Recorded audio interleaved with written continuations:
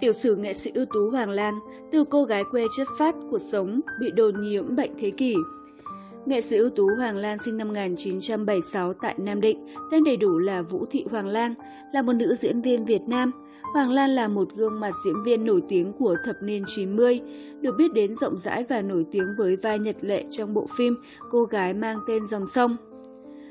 Tài diễn của Hoàng Lan được thừa nhận ở nhiều giải vàng trong các cuộc thi tài năng sân khấu trẻ, sân khấu thể nghiệm, hội diễn sân khấu chuyên nghiệp toàn quốc. Nghệ sĩ ưu tú Hoàng Lan là diễn viên của đoàn kịch nói Công an Nhân dân, một gương mặt quen thuộc được khán giả yêu mến. Từng có thời Hoàng Lan là ngôi sao phủ sóng hàng loạt các kênh truyền hình, với vai chính trong nhiều phim dài tập như Giọt nước mắt giữa hai thế kỷ, Cô gái mang tên một dòng sông, Cỏ lồng vực, Gió từ phố Hiến, nếp nhà. Hoàng Lan đã đạt bông sen vàng cá nhân cho nữ diễn viên xuất sắc nhất tại Liên hoan phim quốc gia lần thứ 16. Dần dần chị ít đóng phim phần vì tập trung cho sân khấu kịch nói, phần vì chị muốn luôn muốn làm mới mình và không muốn lặp lại.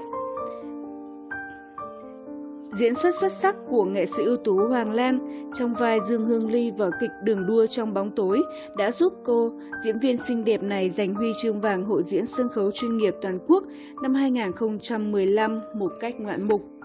Năm 2005, chị nghỉ đóng phim một thời gian, không xuất hiện sau một thời gian thành công. Nhiều tin đồn dấy lên cho rằng chị bị nhiễm HIV và đã qua đời, khiến chị phải lên nhiều tờ báo thanh minh về việc này.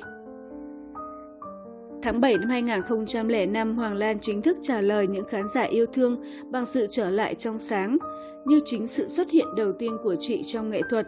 Vai diễn của chị trong vở Vòng Xoáy không phải là vai lớn, không nhiều đất diễn, nhưng mỗi lần xuất hiện vẫn tạo cảm giác cho khán giả bởi nét trong sáng và thánh thiện. Giải thích lý do vắng bóng, chị chia sẻ, đối với tôi mọi việc trong cuộc sống đều cần chữ duyên, có duyên sẽ đến, sẽ gặp và được làm việc cùng nhau.